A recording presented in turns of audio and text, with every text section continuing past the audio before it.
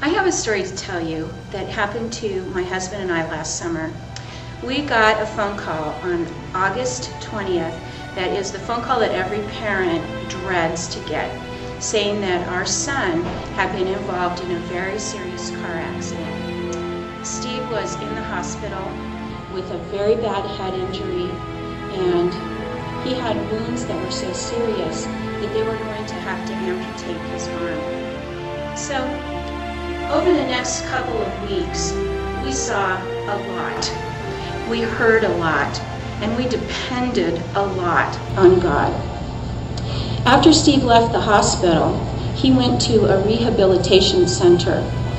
And that's a place where you go to get well. He had to learn how to do everything over again with only one arm. He was in a lot of pain. It was a new place. All the noises were different routines were different, and he was really struggling. When I called him early in the morning after his first night, he sounded really down, and I was worried about him.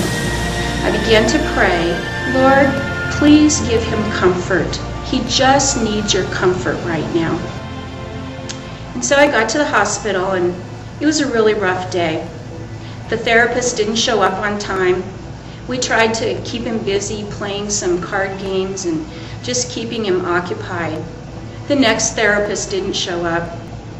Right as I was getting ready to leave, the night nurse, who was starting her shift, came into his, into his uh, hospital room. And she introduced herself to us.